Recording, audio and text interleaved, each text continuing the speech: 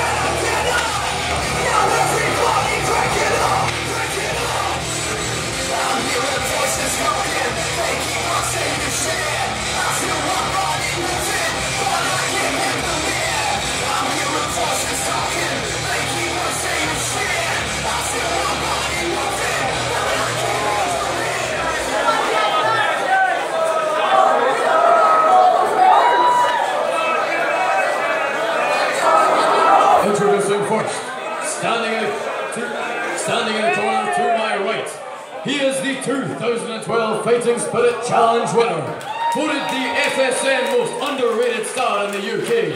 He is a two-time and reigning ICW Zero G champion and self-proclaimed real ICW champion, weighing in tonight at 100 kilos.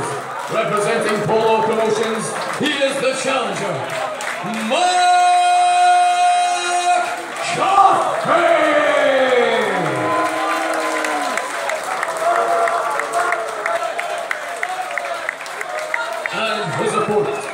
standing in the corner to my left, weighing in tonight at 17 stone.